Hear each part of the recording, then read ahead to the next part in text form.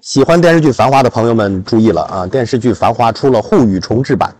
啊，这个版本在很多地方进行了调整。啊，据我得到的消息是，很多地方的，呃，颜色色调都调整了，有一些读音的问题调整了啊。之前我说过，像那个，呃，有一些词读的不对啊，专门把爷叔、把尤本昌老爷子都叫回来，啊，修改了读音啊。剧组一直在秉持着王家卫导演一贯精益求精的精神啊，把它塑造成一部完美的杰作。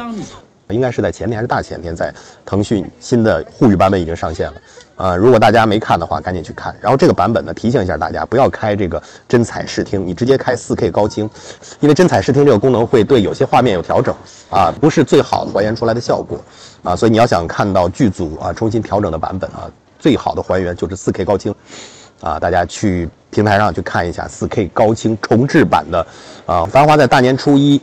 呃，晚上播放的央视电视剧盛典上面啊，拿到了很多的大奖啊，年度大戏，然后胡歌、呃唐嫣、马伊琍啊、董永、爷叔啊，拿到了一堆的大奖，也 充分说明现在总台对这部片子的重视啊。现在也也有了确认的消息，《繁花》将会有电影版啊。那二零二四年，《繁花》肯定会代表中国的电影和电视剧出海去参加很多的奖项的竞争啊。王家卫加《繁花》啊，加胡歌、唐嫣、辛芷蕾啊。这是一个非常令人期待的阵容啊！期待在戛纳看到他们，期待在威尼斯、在柏林、